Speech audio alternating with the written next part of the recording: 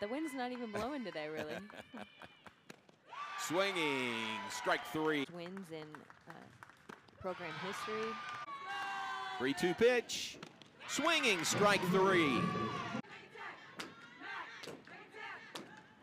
Swinging, strike three.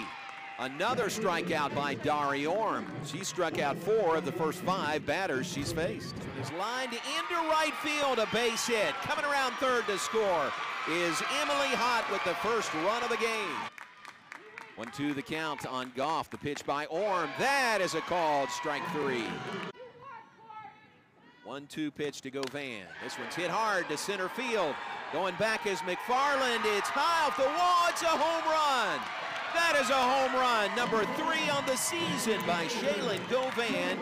Three RBIs, and the Bears go up 4 0 on the Maryland Terrapins. Reaching on an error in the third.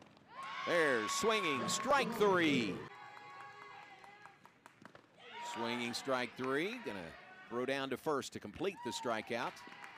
Here comes the one two to Greco. That is called strike three thing that's a constant today. That is the pitching of Dari Orme. That is strikeout number nine on the day. Emily Hott. We were fighting the wind pretty hard. on the third base side.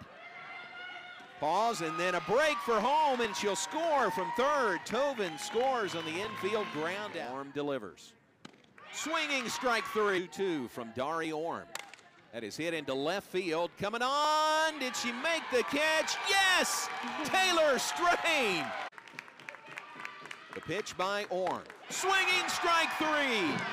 A new career high, 11 strikeouts, and a no-hitter by Dari Orme as Baylor wins over Maryland today here in Waco.